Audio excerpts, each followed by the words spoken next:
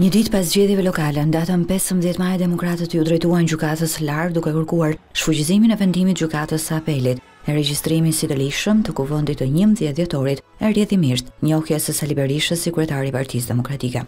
Sekretari për çështjet ligjore Ivi Kaso shpjegon se sipas ligjit, vendimi i gjykatës së lartë duhet të kishte dalë brenda 30 ditëve. pra në pesëmbëdhjetë qershor. Përsëri, Gjykata e Lartë përveçse veprimeve të para përgatitore, pra hedhjes shortit dhe përcaktimin e gjyqtarit relator, nuk ka kryer asnjë veprim tjetër, duke qenë kështu në shkelje të hapur të dispozitave proceduriale që rregullojnë shqyrtimin e këtyre çështjeve.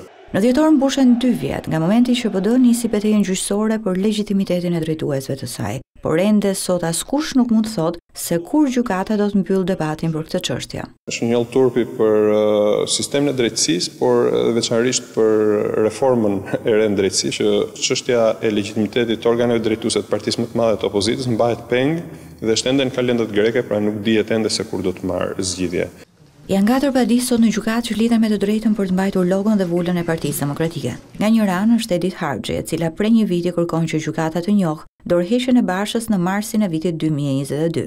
Nga ana tjetër është lideri i opozitës Sali Berisha, i cili pret vendimin e Gjykatës së Lartë. Është Gazmend Bardhi i cili ka kërkuar në gjykatë të mos njihet procesi i organizuar nga Lulzim Basha dhe është vetë Basha i cili në shtator shkoi në gjykatë për të regjistruar statutin e tij të ri.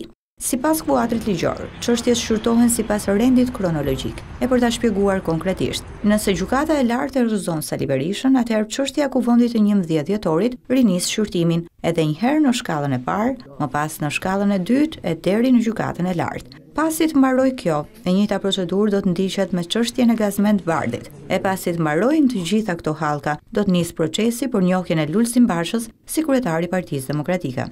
Në këtë situatë ka pak gjasa që në zgjedhjet e vitit dy mijë e njëzet e pesë, çështja e logos së Partisë Demokratike të marrë zgjidhje. Unë besoj që qartësisht ky është qëllimi i maxhorancës e cila ushtron gjithë instrumentet e saj të presionit në sistemin gjyqësor, instrumente të cilat i ka jo të pakta, me qëllimin e vetëm për ta mbajtur jo vetëm opozitën të përçarë, por opozitën në një krizë formale legjitimiteti, çka do ta pamundësonte atë regjistrimin në një proces zgjedhor të afërt, qoftë ky ai i radhës së dy mijë e njëzet e pesës, qoftë ky një proces zgjedhor i parakohshëm.